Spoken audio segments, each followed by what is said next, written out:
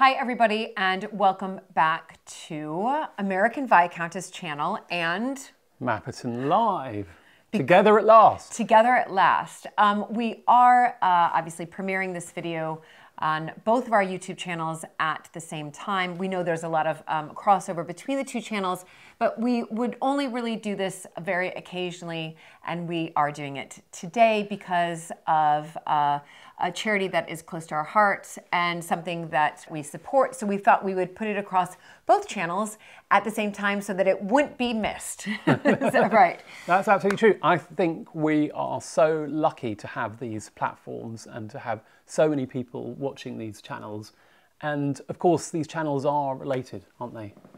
They are yeah, related. They are They're related. sister channels. They're sister so, channels. So I think on occasion we can we can put the same thing on there but only when it's for a good cause. And this is for a really exceptional cause. But we have to declare that it is something that I am deeply involved in. Yes. And I'm really pleased to have been involved in. So I chair the trustees, the board of trustees for a charity. It's called the Dalai Lama Center for Compassion. And the main activity of that charity is a project called Compassion Matters. And compassion does matter, matter, doesn't it?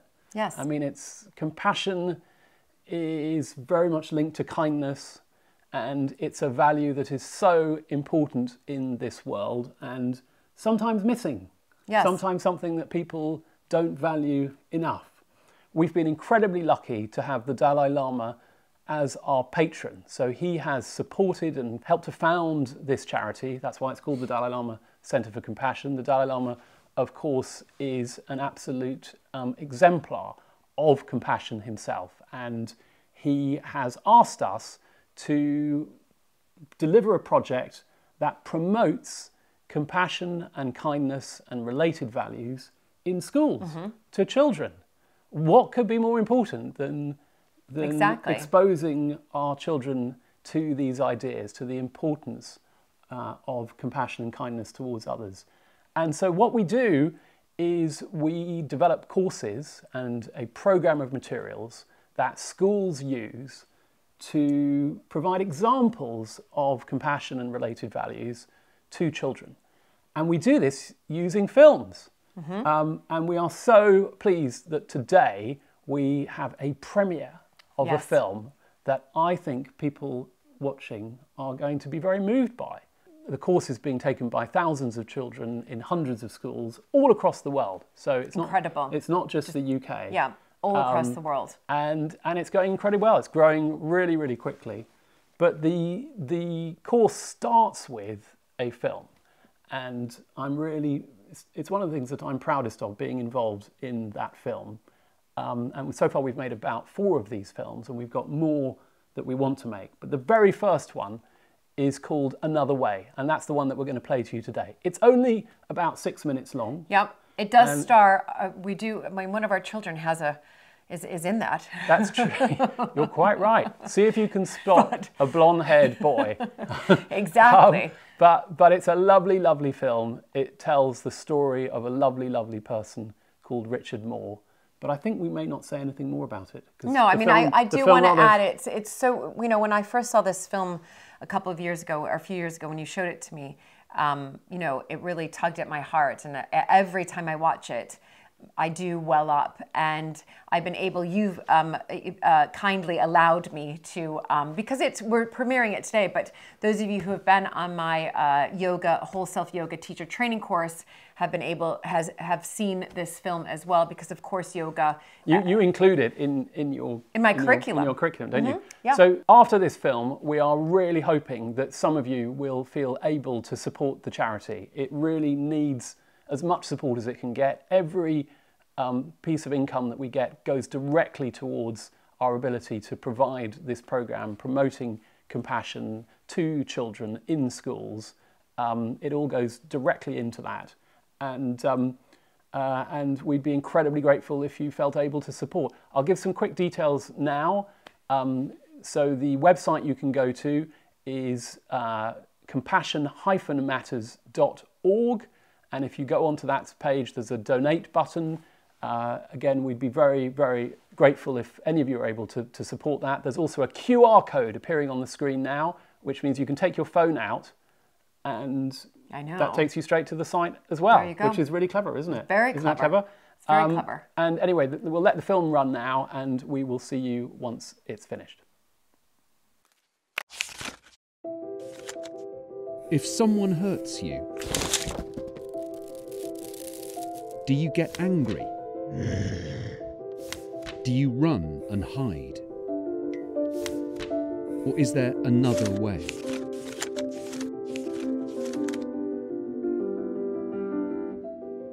Compassion for me is a concern for others, to understand others,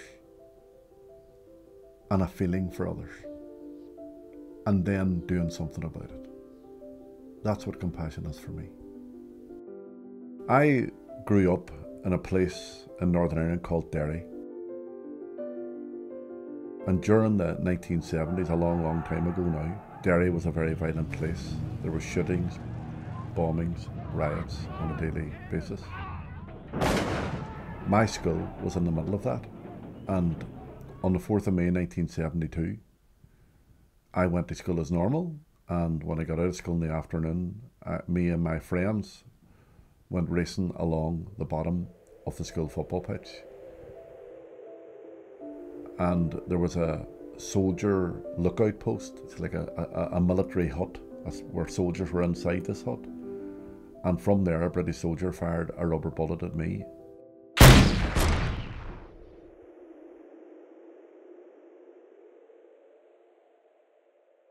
I have the rubber bullet here that, that hit me. That's the actual rubber bullet there that hit me. It's fairly solid. It travels at 100 mile an hour. And what happened was my music teacher, Mr. Giles Doherty, he heard the bang. He ran over, he found me lying on the ground. And he lifted me and carried me in and put me on the school table. And I remember him talking to me. And he kept saying, um, you know, you know, what's your name? And eventually I told him my name was Richard Moore. And he got a shock because, you know, he knew me very well. I was in his music class. But he wasn't able to identify me because of the extent of the injuries. It hit me on the bridge of the nose here. And uh, I lost this eye and was left completely blind in my left eye. So I'm blind now. oh, hello, Charles. Good to see you. Eh? Good to see you as well. Charles is the British soldier that shot me. So I didn't know his name until 33 years after I was shot. And then I met Charles for the first time. And to be honest, it was one of the most amazing experiences of my life to sit opposite the man that blinded me for life. And I got to know the person that day. And I liked him. And Charles and me have remained good friends ever since.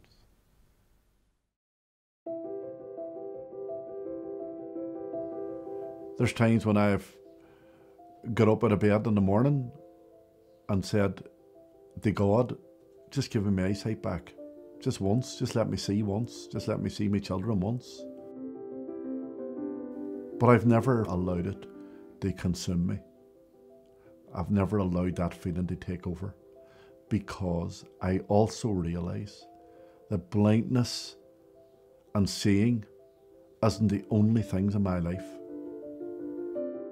if I had responded negatively to what happened, I had been really bitter and really angry. Well, the impact on me, I think, would have been enormous.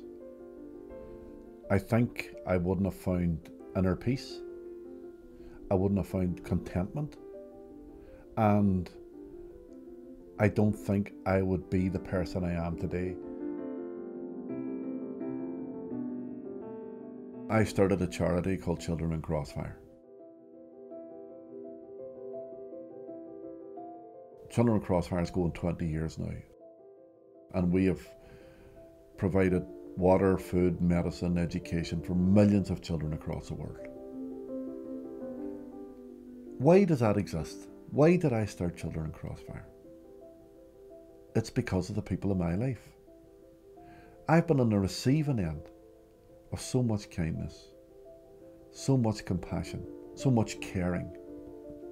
When you think about me being in school, I'm sitting in a classroom full of sighted students. I'm the only blind person in the school.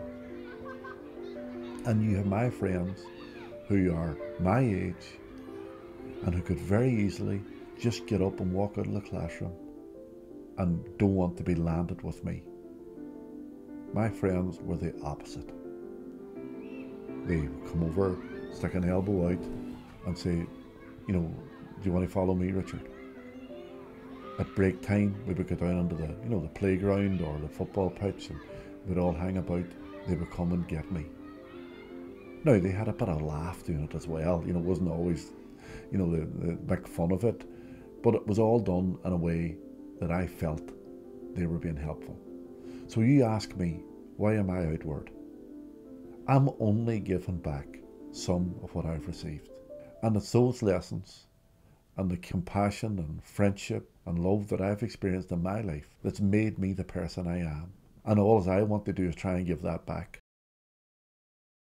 So if there's millions of children in Africa today alive or have access to education or water or food, it's not because of me. It's not because of Children of Crossfire. It's because of those people that played such an important role in my life, every day of my life. And if I can do it, you can do it. You know, you don't have to be brilliant to say to your teacher in school, can we do a fundraiser for the children in Syria or those children in Africa that I saw on television last night?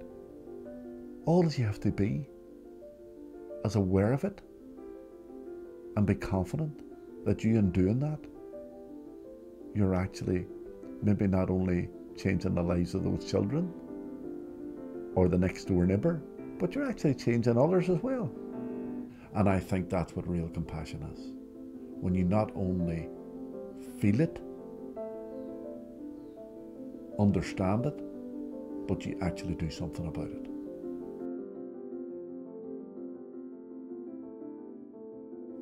How did it make you feel?